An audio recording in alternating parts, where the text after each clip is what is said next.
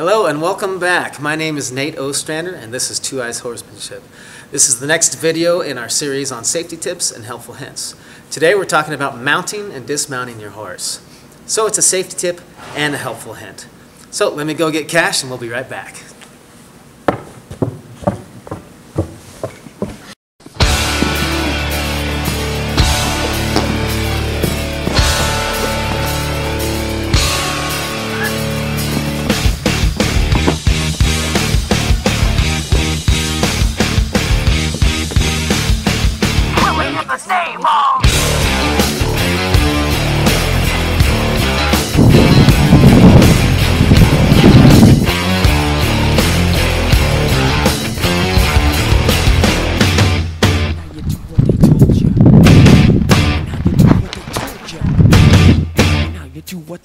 Ya. Now you do what they told ya. And now you do what they told ya. And now you do what they told ya.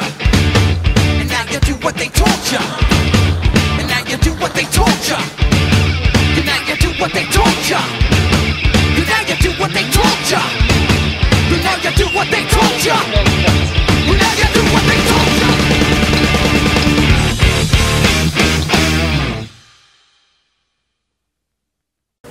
All right, so we've got Cash here with us today.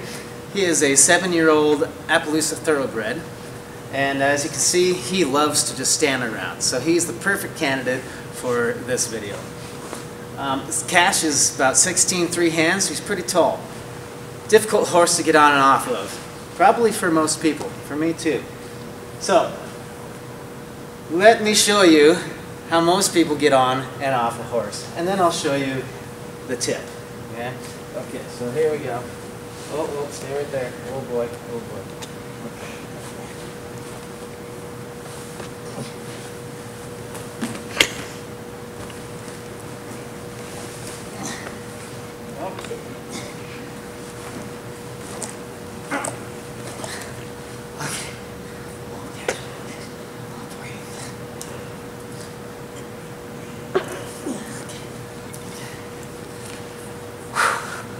Okay, there, I got on.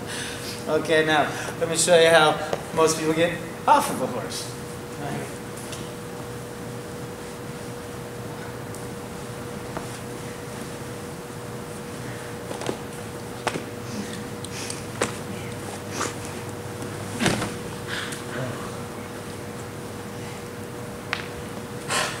Look familiar? okay. So here's my helpful tip. When you've got a saddle on your horse, it's actually designed to put pressure along the, the back of the horse. When you pull on the saddle this way, it's obviously going to slip this direction, right? So as you saw, when I put my foot in the stirrup, came around here and pulled on both sides of this, the saddle slipped sideways. Now everybody complains about that. My saddle slips every time I get on my horse. So I got to tighten the cinch up, right? That's what I need to do is tighten it up so it doesn't move. Wrong. That's how you make cinchy horses. You don't want a cinchy horse. You want him to be comfortable with the saddle on and have the cinch snug enough that the saddle stays, but not so tight that it's cutting him in half.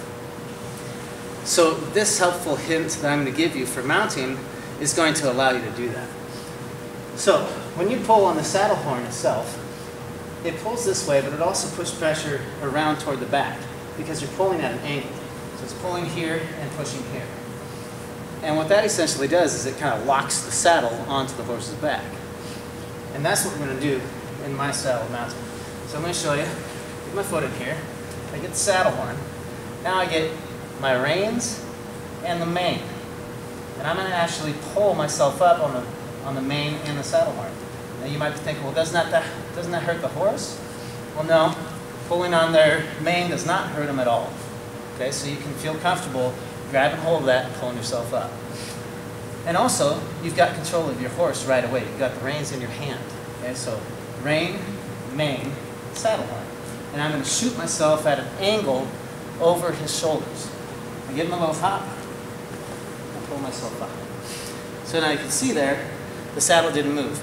And I can go ahead and stand in that stirrup, that direction, and take my time, and it still doesn't move.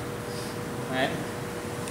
Okay, so the saddle is still decently straight compared to the last time I did it, where it was halfway down inside. Okay? So that's what locks it into place. So let me show you that again.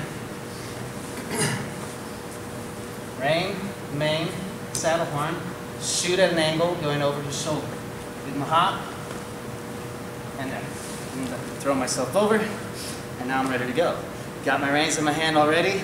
I didn't lose one, you know, struggling to get over. And I don't have to do all this to straighten out my saddle again. Okay? Now, getting off the horse, basically backwards, except you got to take your foot out of the stirrup. Um, let me show you what can happen if you don't take your foot out of the stirrup.